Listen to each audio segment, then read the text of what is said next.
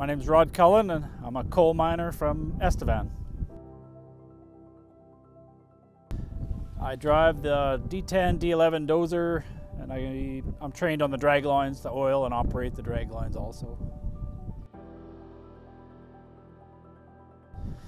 Uh, just been following some of this drone technology, and I think the batteries and the, the sensors are are at the level of making a practical business out of it. Like with all these federal policies and the coal being on the chopping block, I think it's a good segue to use my aviation background and transition into a, what we think is going to be a, a viable business for the area.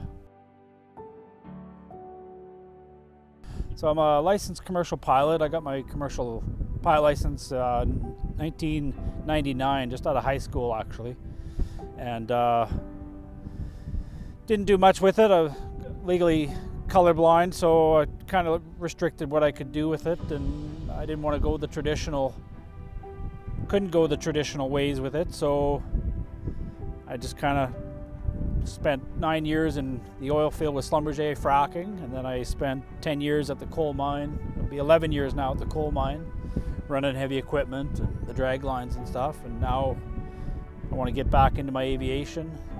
They changed the drone laws in 2019, which you almost need a private or commercial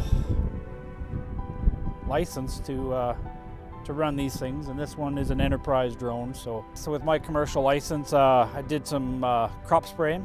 I went to North Battleford and I got my aerial applicators license, commercial pesticide applicators license.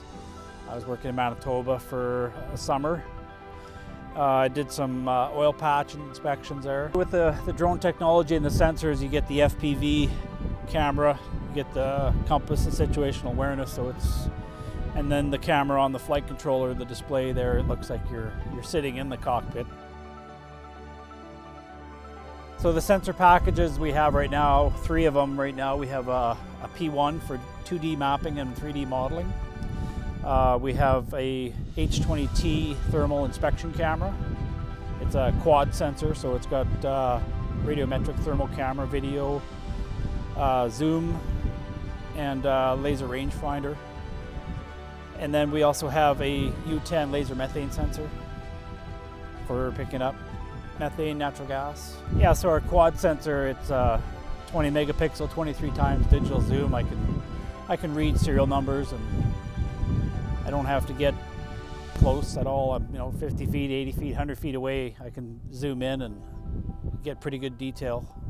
I don't need to go up in a man basket or on the, the gantry walkways there to, to be inspecting the panels. We, we can just send the drone up and zoom in with the, the inspection camera.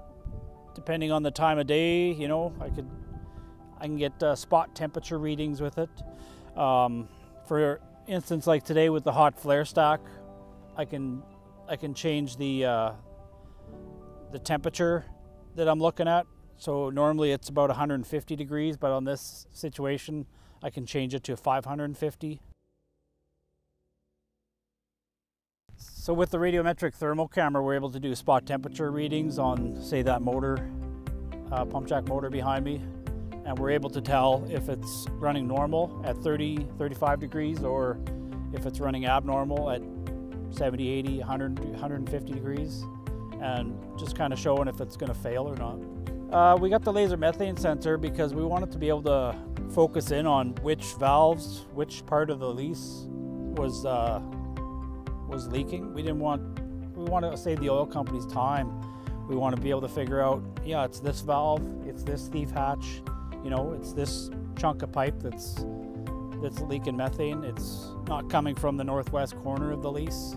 So the federal government, they implemented all these rules and regulations on uh, methane emissions, and a lot of it comes from the oil and gas, a lot of it comes from coal, and a lot of it comes from the marshes around these lease sites.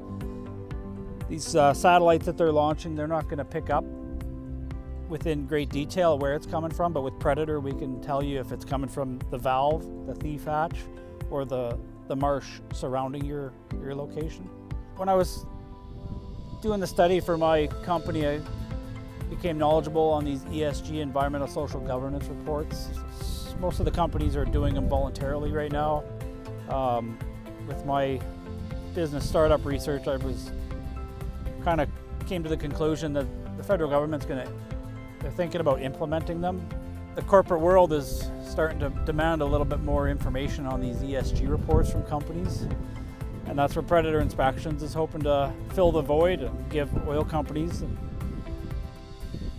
verified emission reduction that, you know, we're, our methane is at this level. Predator inspections with these uh, ESG reports, we're able to do uh, verified emission reductions. We have, uh, with our one laser methane app sensor, we'll do a baseline inspection. We'll figure out where the methane's coming from. We can come back and compare the reports and it'll show the reduction of methane that will benefit your ESG reports. Predator inspections, we're excited. We're waiting on another sensor, possibly one more after that. We're going to be helping the ag uh, farmers with uh, the Altum PT, that's a thermal multispectral sensor. And it'll help oil companies too. I'm Rod Cullen with Predator Inspections and we're excited to get off the ground.